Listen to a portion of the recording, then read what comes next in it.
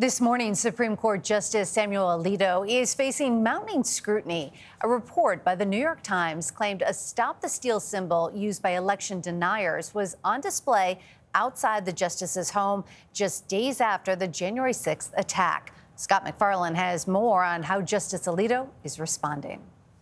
There are calls for Justice Samuel Alito to recuse himself from any cases involving the 2020 election after the New York Times published this photo of an upside down American flag flying outside Alito's home in the days after the January 6th assault on the U.S. Capitol.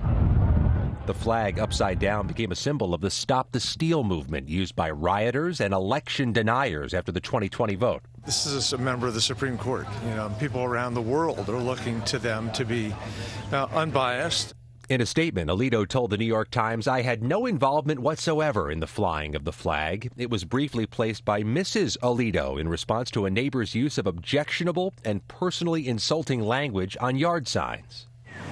Neighbors told the paper Alito's wife was involved in a dispute with another family who'd put an anti Trump sign on their lawn.